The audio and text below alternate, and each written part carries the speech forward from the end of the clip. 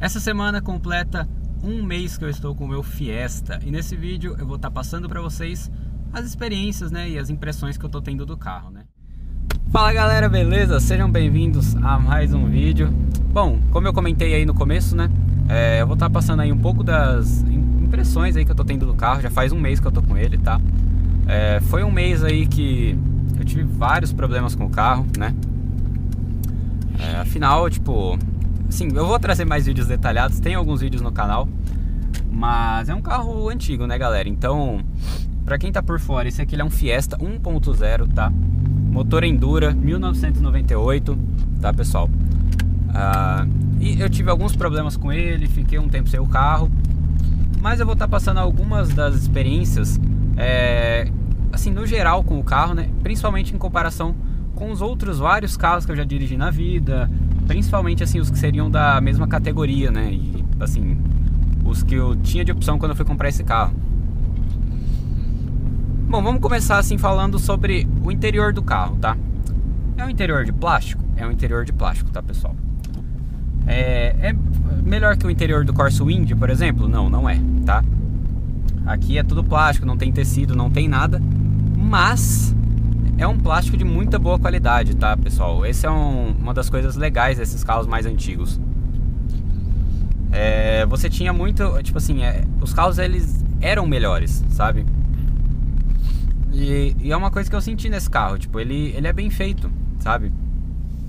Então você vê aqui, tipo, desde, beleza, tem um encaixe solto ou outro, tem. Mas o acabamento do carro, ele, ele é bom, ele é bem feito, né? Então, você vê que realmente se você pegar para ver, o, o, Fiesta ele não é o carro de entrada da Ford, né? Nunca foi. O carro de entrada da Ford sempre foi o K.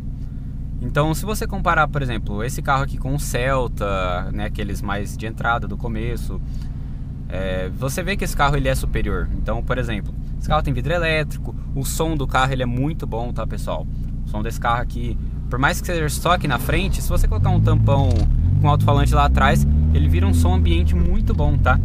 Eu não vou colocar porque eu não faço muita, muita questão de som em carro, tá? O meu negócio é mais escutar o barulho do motor, escapamento e tal.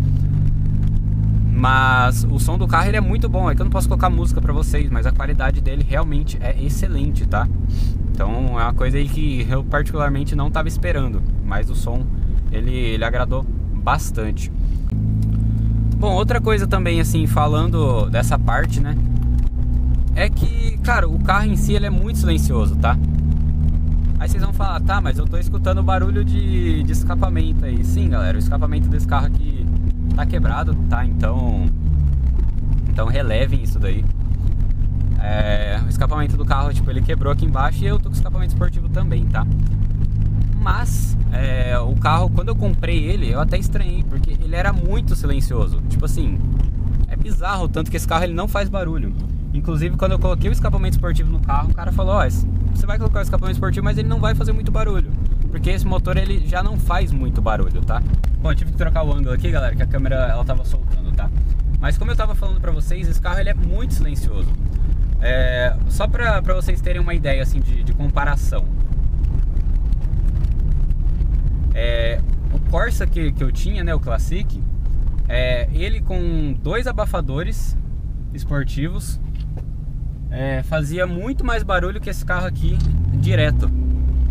Eu juro pra vocês, esse carro aqui com escapamento direto faz menos barulho do que os carros da Chevrolet com abafador. Né?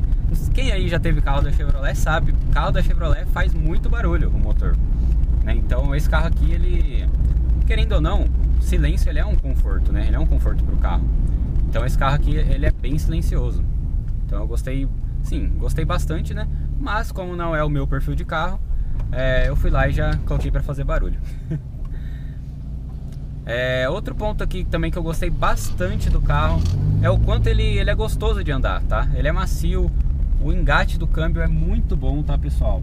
É, se você comparar até com os carros novos da Fiat, meu, esse carro aqui ele é até melhor. Então é muito gostoso de dirigir esse carro. É, em baixa rotação ele anda legal, ele tem um torque legal, por mais que o carro seja fraco, ele é muito fraco mas você só percebe que ele é fraco quando você afunda o pé para acelerar tudo buscando desempenho máximo. Andando de boa, você não sente que o carro é fraco. Pelo contrário, é, você vê que o ponteiro de, de, velocidade ele cresce rápido, né? Então você atinge aí os 60 por hora rapidamente, tá? É, tem até vídeos aí que, que eu tava andando mais de 60 por hora e nem tinha percebido, porque realmente o carro ele chega muito fácil nessa velocidade. Então assim, é, são alguns dos pontos que eu tô gostando bastante desse carro. Fora de que ele é muito econômico, tá? É, a média dele aí na minha mão dá pra fazer uns, meu, uns 14 km por litro na cidade aí, numa boa, tá? Ele é um carro bem econômico. É, então, assim, tirando os problemas que eu tive com o carro, de manutenção, de. Enfim, carro, o carro é velho, né, galera? Não tem muito o que fazer. Tirando esses probleminhas aí, carro é excelente, né? É, o pessoal que mexe nesse carro fala também que é, é normal dar problema, é carro velho, né? Mas que o carro em si é muito bom, né? Principalmente nessas características. É, ele é um carro econômico, é, beleza, ele não é o mais barato de manter porque é Ford, né? Não é um carro da Chevrolet, da Fiat e tal. Mas ele é um carro que, que vale, vale muito a pena, né? É, assim, pela faixa de preço dele, eu acho que você não vai achar coisa melhor. Até porque se você pegar o Uno, o Gol, esses carros aí, eles estão um pouco mais caros que esse aqui, tá? É, até mesmo o Corsa Wind, o pessoal tá, tá enfiando uma facada. Né? Tem Corsa Wind aí que o pessoal tá pedindo 9 mil, então... Então esse carro aqui... E como eu falei, né? Esse carro aqui, se você for ver em questão de, de comparação, ele é superior a Celta e Corsa sim, tá pessoal? Porque o concorrente desses carros seria o Ford K, não o Fiesta, entendeu? O Fiesta ele é um pouco acima mesmo. Então nesse ponto aí, eu tô mais do que satisfeito com o carro, tá? E conforme o tempo for passando e eu for tendo mais experiência aí com ele, e principalmente trazendo mais vídeo para vocês aí das manutenções, etc, é, eu vou passando uma visão melhor para vocês, tá?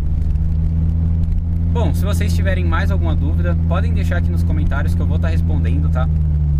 É, e talvez até em vídeo, né? Pode ser assunto para vídeos futuros. Vocês tiverem alguma dúvida aí, deixa nos comentários. E eu espero vocês no próximo vídeo do canal, tá galera? Eu vou ficando por aqui. Valeu e falou galera!